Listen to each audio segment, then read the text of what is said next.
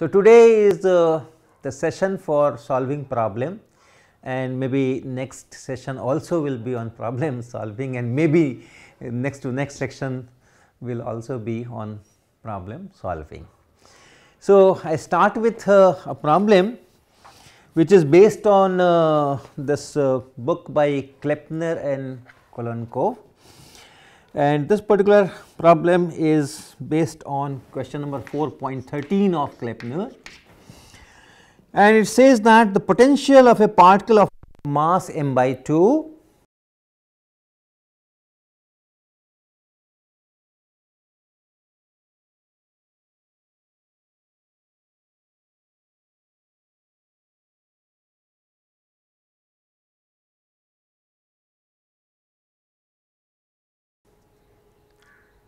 is given by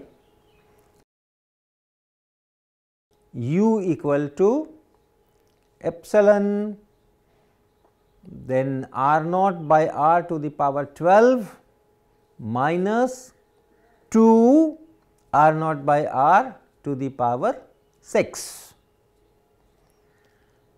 The questions are A sketch the function. The second part is find the equilibrium separation, find the equilibrium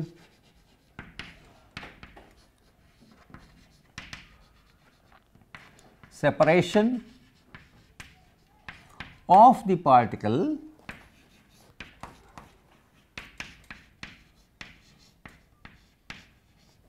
from the origin.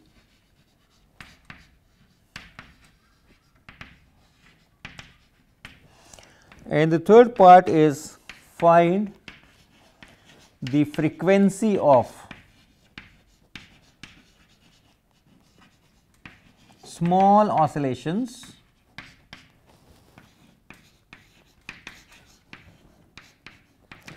about the equilibrium point.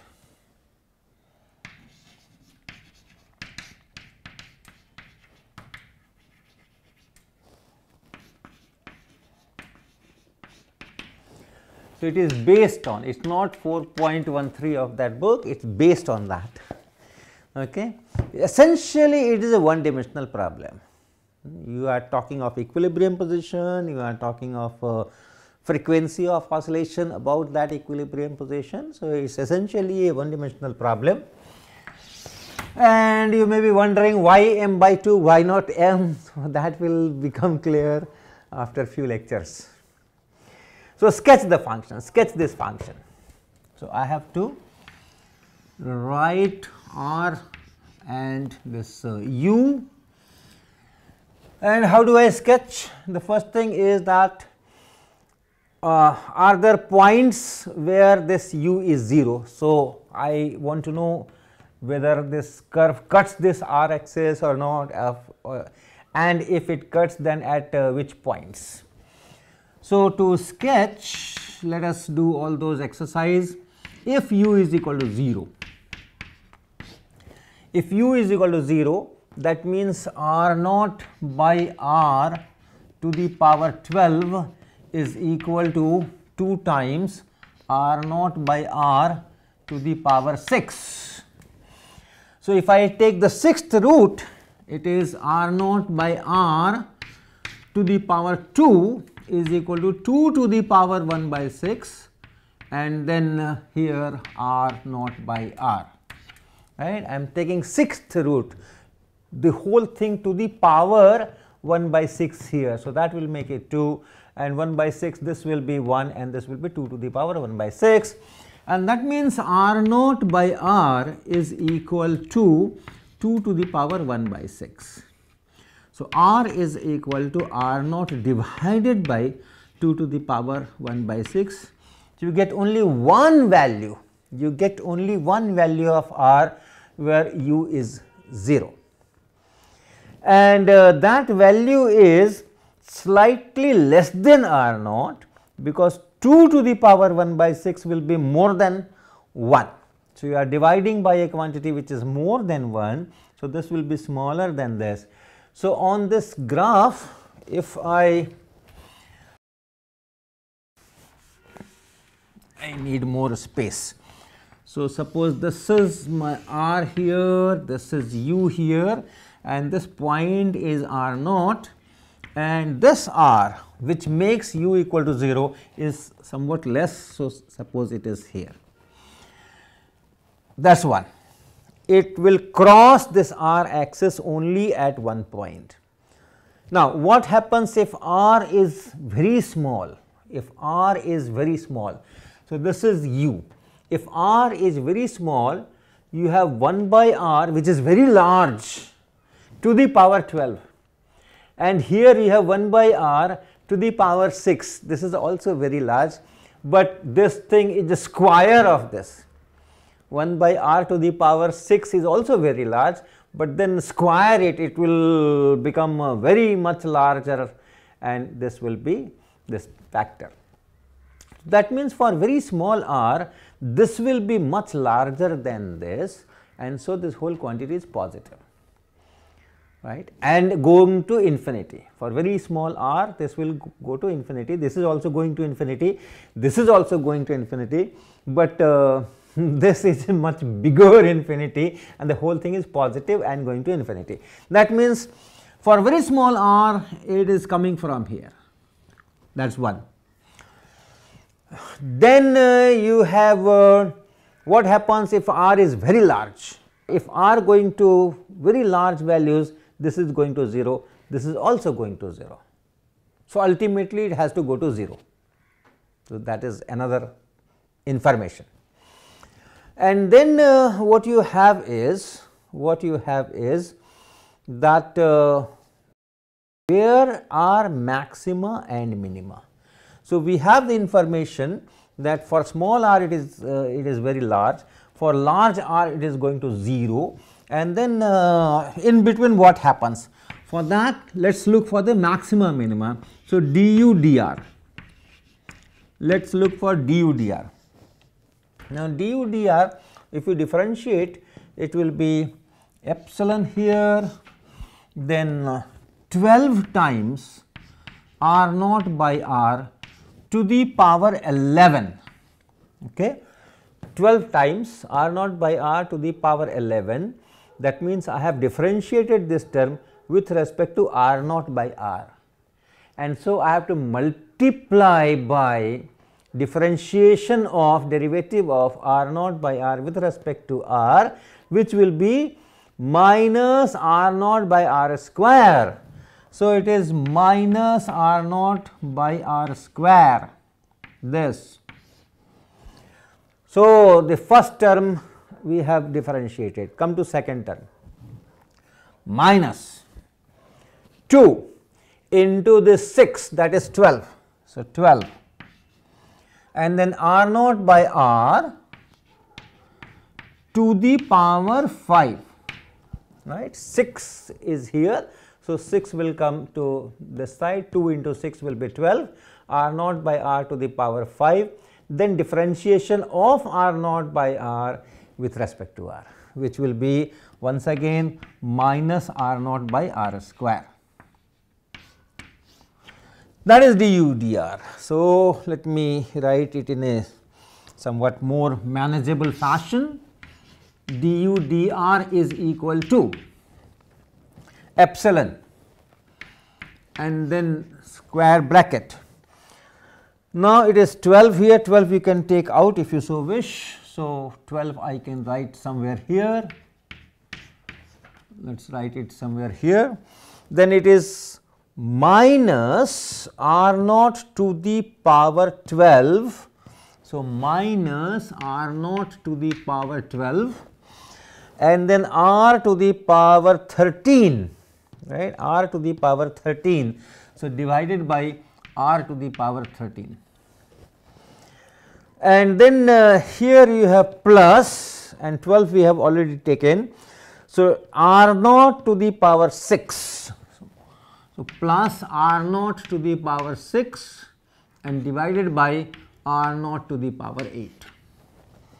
r naught to the power uh, 6 divided by r to the power 8 divided by r to the power 5 from here and r to the power 2 from here. So, r to the power 7 this is r to the power 7.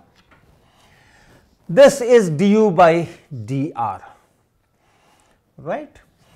Now, if this is 0, if this is 0, if du dr is 0, that means that means r naught by 12 divided by r power 13 should be equal to r naught 6 here and r to the power 7 here. And therefore, uh, r naught to the power 6 divided by r to the power 6 should be equal to 1, r should be equal to r naught. Because I know that uh, in the beginning it is very high and the end it is uh, 0 going to be 0 and there can be only one maximum or minimum. So, that has to be minimum that cannot be a maximum. It will decrease. It has to go to this uh, point where it crosses this uh, point. It becomes negative there. Then uh, it has to be a minimum here if you if it wants to reach this 0 and that minimum must occur at r equal to r naught. And then it will go and then it will gradually approach 0. So, that is the kind of uh, sketch we have. So, this is the kind of uh, potential energy function. If the particle is uh, is somewhere here, the potential energy is positive, positive. If the particle is here, potential energy is 0. If the particle is here, then the potential is negative.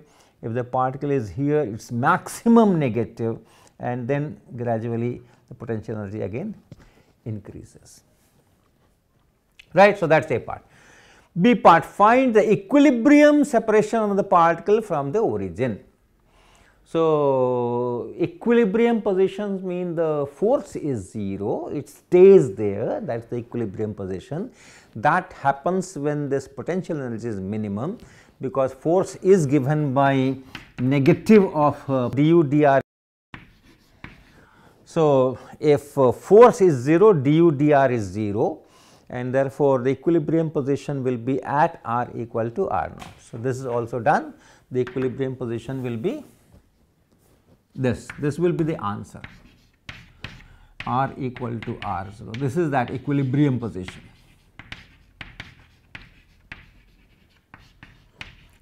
What does that mean? If you put the particle at r equal to r naught, okay.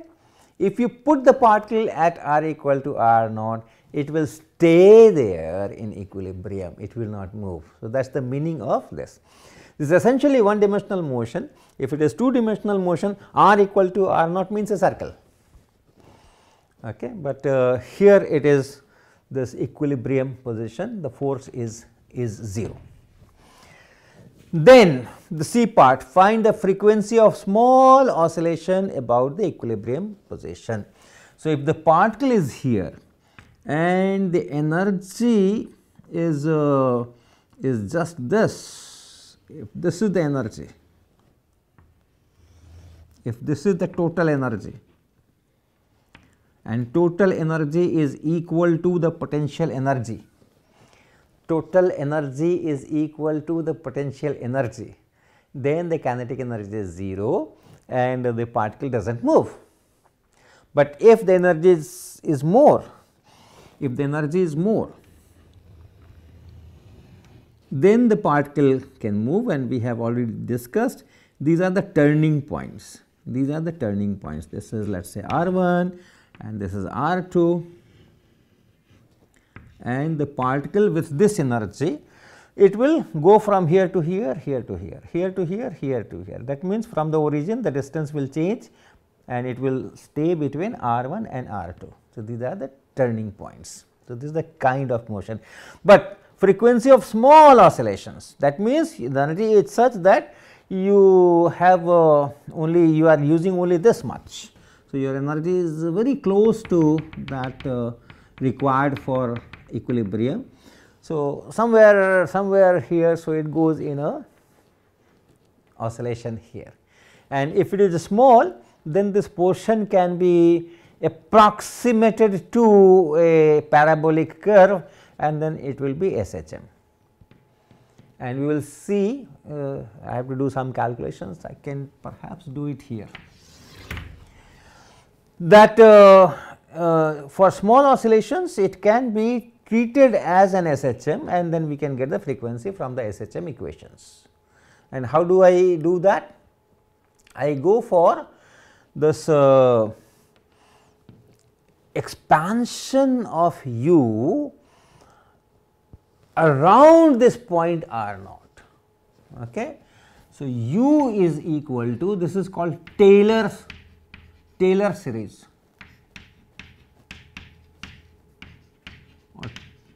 It says that if you have to get u as a function of r and you have a point r naught very which is very close to it, you can write it as u at r naught and plus du dr at r equal to r naught and then multiplied by r minus r naught plus then uh, half of half of second derivative d2v dr square evaluated at r equal to r naught and multiplied by r minus r naught square and similarly higher order terms coming in there.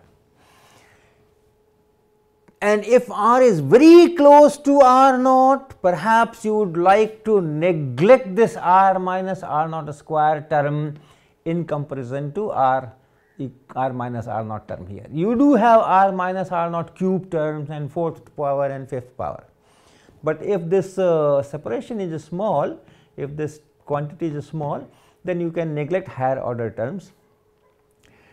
Now, in our case, in our case du dr at r equal to r naught is 0. This is r equal to r naught and here du dr is 0 and therefore, this term is not there. And so, I cannot neglect this in comparison to this and so I have to evaluate this. We can we can do that uh, u. So, we can do that and uh, it is uh, du dr is here. So, let us calculate what is d2u dr square equal to 12 epsilon minus r naught to the power 12 r naught to the power 12 and then you have to differentiate r to the power minus 13. So, minus 13 here and then r to the power minus 14. So, r to the power 14 in the denominator right. I have written minus, I have written r naught to the power 12 which is constant and then I have to differentiate. So, I am differentiating r to the power minus 13. So, minus 13 r to the power minus 14, r to the power minus 14 is written as r to the power 14 in the denominator. Now, come here plus r naught to the power 6. So, this is r naught to the power 6 and then I have to differentiate r to the power minus 7. So, minus 7 here and then r to the power 8 here. So, that is the differentiation. So, let me and it has to be evaluated at r equal to r naught. So, if I write r equal to r naught, so this every r becomes r naught, r equal to r naught. Then what happens? Then it is 12 epsilon this minus and this minus is plus r to the power 12 divided by r r naught to the power 12 divided by r naught to the power 14. So, it is r naught to the power 2. So, it is 13 divided by r naught square the first term. The second term is minus here and 7 here and divided by r naught square. So, this is 12 epsilon into 6 divided by r naught square. So, it is 72 epsilon naught epsilon divided by r naught square. Now, look at this term u r is equal to u r naught and then plus half of half of this quantity d2u dr square at r equal to r naught. So, that is 72 epsilon divided by r naught square and then r minus r naught square. Compare with u x equal to half k x square.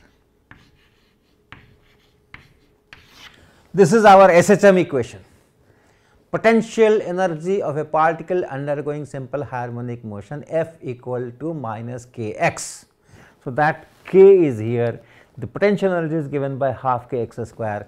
There we choose 0 of potential energy at x equal to 0 right? So around that. And you know potential energy is always arbitrary to an additive constant.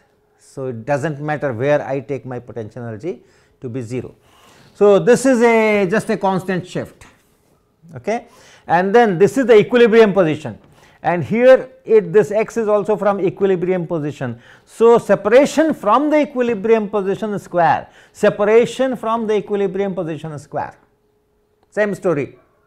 And uh, this does not matter you can take any any point and say that okay my 0 is here. Potential energy 0 is here. So, a DC shift can always be done. So, it is identical to this. This will be an SHM if this is the equation this is HM. Of course, this is an approximation because we have neglected the third power, fourth power and sixth power, but if we, if r is close to r naught we can do that. And so, this motion will be approximately SHM for small change in energy the the motion will be approximately SHM and what will be the frequency. So, for SHM you know angular frequency square root of k by m. So, the same equation here in our case omega is equal to square root of k. In place of k I have the 72 epsilon naught by r naught square. So, 72 epsilon naught by r naught square and divided by m and mass of the particle here is m by 2. So, we divide by m by 2. So, I put m here and into 2 here and 72 into 2 is uh, 144 a perfect square square root is 12. So, this is 12 times 12 times epsilon naught divided by m r naught square.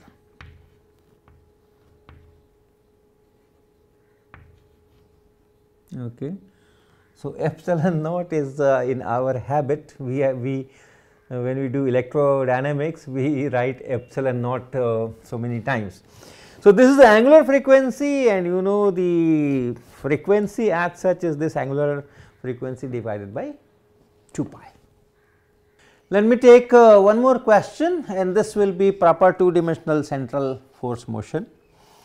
And the question is based on uh, 9.2 of our Kleppner Kolenkow book, a particle of mass m, a particle of mass m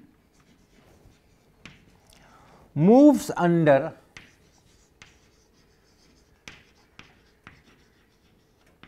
an attractive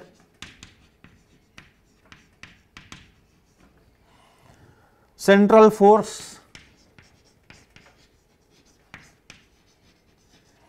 f of r is equal to minus k r cube.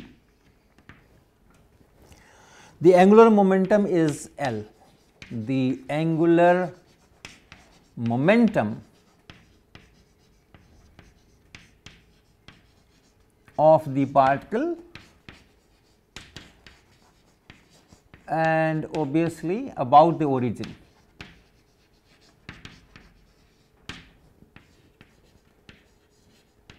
is L. The maximum distance of the particle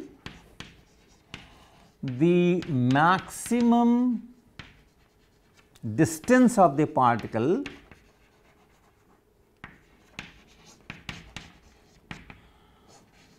from the origin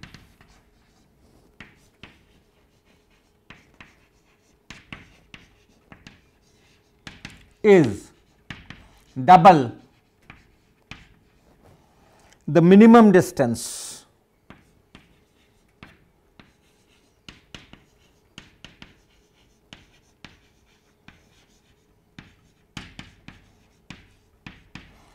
and the question is find this minimum distance.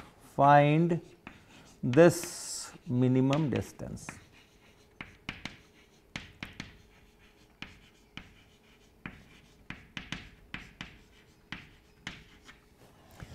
Okay, so force F is F is minus k r cube. So, write what is potential energy U. U will be what you have to integrate. So, k into r to the power 4 divided by 4. This will be the potential energy. If you differentiate it with respect to r, you get k r cube and put a minus sign you get the force. So, this is potential energy. What is V effective? We have used this terminology V effective it is L square by 2 m r square and then the actual potential energy which is plus k r to the power 4 by 4 k r to the power 4 by 4. This is the effective potential energy. And if we draw the potential energy, how will it look like? If this is R and this is V effective and if I draw this, if you take very small values of R, this is negligible, very small value, so it is going to 0, very small values, this is going to infinity, so it comes from infinity all the time it is positive r square here r 4 here all the time it is positive I do not have to find the point where it crosses this uh, r axis. And uh, of course, I can look at uh, the large r values for large r values this will be 0, but this will go to infinity. So, it starts from infinity and it goes up to infinity what happens in between. So, look for the maximum minima V effective and then differentiation of this with respect to r. So, if you differentiate you have minus L square by m r cube this term will always occur. So, I remember it and then here when you differentiate it will be plus k r cube. If it is 0, if it is going to be 0 then you get L square by m k L square by m k is equal to r to the power 6, the sixth power of this. This is the place, this is the place where this will be maximum or minimum and the only one value you get only one value of r. So, only one maxima or only one minima is possible. This is infinity, this is infinity, it is always positive, it has to be a minimum. So, your function will be something of this type, something of this type. And this will be the minimum. Now, it is said that the uh, maximum distance of the particle from the origin is double the minimum distance. So, that means the energy is uh, something like this, this could be the total energy. And here are the turning points, this is that minimum distance. Let us say r naught and then uh, this is another turning point and this will be 2 times r naught. Okay, if this is the total energy then the particle cannot come this side and cannot go that side. It has to remain in this so that half m r dot square is always positive. It cannot be negative. Here that uh, r dot is 0 here this uh, r dot is 0 so, these are the situations. You have to find the value of R naught. How do I how do I get that? at this point and at this point the total energy is same as this effective potential energy. That is why that half m r dot is 0. Total energy is half m r dot square and plus L square by 2 m r square and plus u of r potential energy here V, V or u I do not know what I have written. So, this is the kinetic energy and this is the potential energy, but then we combine these two and write this as V effective. So, the total energy is your effective potential energy and plus half m r dot square. So, here that r dot is 0 and u is same as the V effective. That means, V effective here at r naught and that is L square by 2 m r naught square okay. At this point, what is the effective potential energy at this point minimum distance? So, r is equal to r naught. So, I am writing r naught here and then plus the potential energy at r naught which is which is equal to the effective potential energy at this point. So, effective potential energy at this point is L square divided by 2 m. 2 r naught square. And then plus effective potential energy I am writing at 2 r naught like this. Like this. So, I have written u here. So I should have written u here. I should have written u here. I should have written u here. And uh, yeah v effective is fine okay. So, this is u at r so, this is a situation I can write L square 2 m r naught square plus u at r naught. What is u at r naught? k into r naught to the power 4 divided by 4. So, k into r naught to the power 4 divided by 4 is equal to L square divided by 2 into 2 is 4, 4 into 2 is 8. So, 8 m r naught square plus this is k by 4 and then 2 r naught power 4. The potential energy at 2 r naughts it is this. So, this is 16 by 4 is 4 here. So, I have this L square minus 2 m r naught square this one and minus this one. Minus L square by 8 m r naught square is equal to this is 16 by 4 is 4 4 k r naught to the power 4 and minus k r naught to the power 4 by 4. Alright, so easy to calculate. L square by 2 m r naught square. And then you have 1 minus 1 by uh, 2 I have taken. So, 1 by 4 correct 1 by 8 here 1 by 2 is here and 1 by 4 is here and this side k r naught to the power 4 and then you have 4 minus 1 by 4 all right. So, this is 3 by 4 this is 3 by 4. So, 3 L square divided by 8 m r naught square and on that side it is 15 by 4. 15 by 4 times k r naught 4 that gives you. Let us uh, take this r naught square on this side. So, this will become r naught to the power 6 r naught to the power 6 equal to and everything rest will be on the other side. So, this I can make it uh, okay let me write let me write. So, 3 L square by 8 m 3 L square by 8 m. From this side I had taken this R naught square there. So, it is 3 L square by 8 m and from that side I have to bring this thing. So, this 15 k will come in the denominator. So, 15 k here and this 4 will go in numerator. So, 4 will go here. So, this will be what 3 and 15. So, 5 here 4 and 8. So, 2 here. So, it is L square and divided by 10 km 10 mk. and therefore R naught is equal to minimum distance is equal to 1 sixth power of this that means it is L square by 10 m k to the power 1 by 6 and that is the answer 1 by 6 that is the answer. L is given to us mass of the particle is m and k is given to us a particle of mass m. So, that is our minimum distance of the particle from the origin.